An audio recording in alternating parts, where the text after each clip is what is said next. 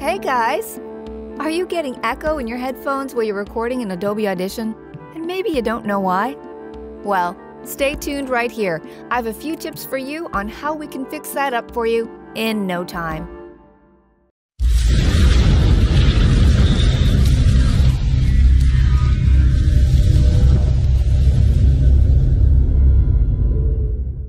Audio latency is the time that an audio signal takes to pass from the sound card input to the sound card's output. The audio signal is digitized, routed through Adobe Audition, then it's converted back to analog form so that it can be heard. Recently, I updated my studio. I updated from audio interface to microphones to the actual computer systems itself.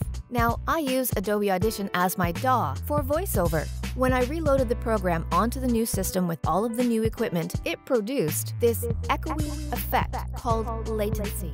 I hadn't had this since I originally set up my studio, so I hadn't thought of it. This prompted me to make this video for you in case you're having the same issue. It took me a while to figure out how to get rid of it, but once I did, it was an easy fix. Now that's not to say that what worked for me will work for you exactly the same. Everyone's system and equipment and setup is different.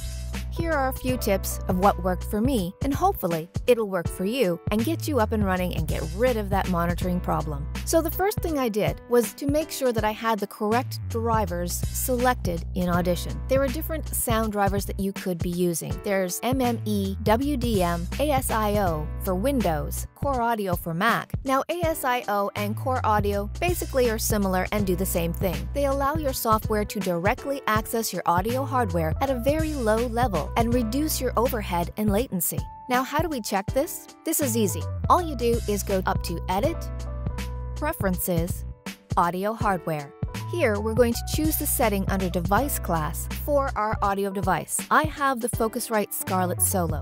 Now that means that I have to, because it's under Windows, install the sound card driver for the Focusrite Scarlett Solo, which is easily downloaded from the Focusrite website. Now, in addition to the sound card driver for the Solo itself, I also have to get the ASIO device driver from Focusrite and install that in Windows. It does not come packaged with Windows at all. And it's always best to double check to make sure that you have the latest drivers and the drivers that they know work with their equipment.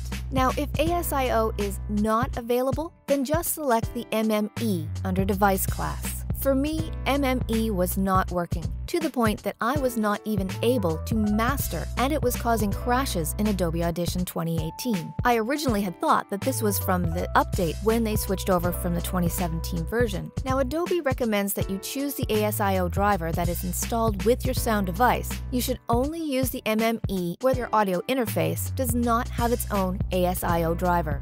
Now for you Mac users, to be fair, I wanted to make sure I had the instructions for all of you out there who use a Mac as well. Here's what I found for you on how to verify that you have the correct driver. You choose Audition, Preferences, Audio Hardware. Just choose your audio device from the default inputs and outputs pop-up menus.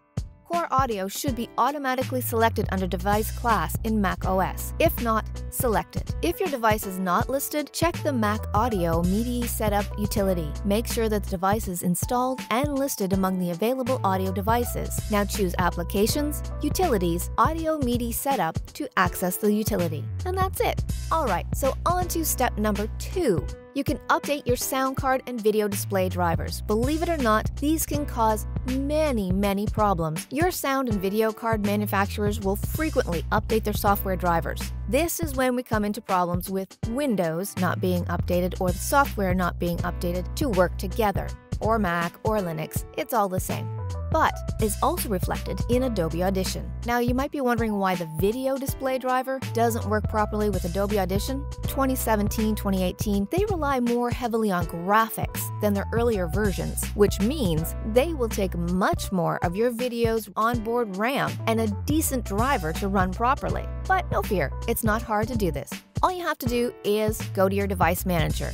Okay, where's that on Windows? Go up to your Start menu, right click, and then go down to Device Manager in this list. Now look in the list for display adapters. This is your sound card. Left click the little arrow to the side. What pops down is your video card. Right click that. You'll get this list. update, disable, uninstall, scan for hardware changes, or properties. All you have to do is click this little update driver. That'll send Windows looking for the driver. Just select Search automatically for updated driver software. Windows will then tell you if you have the latest updated driver or not. For sound, do the same thing, but under Sound, Video, and Game Controllers, which is down here.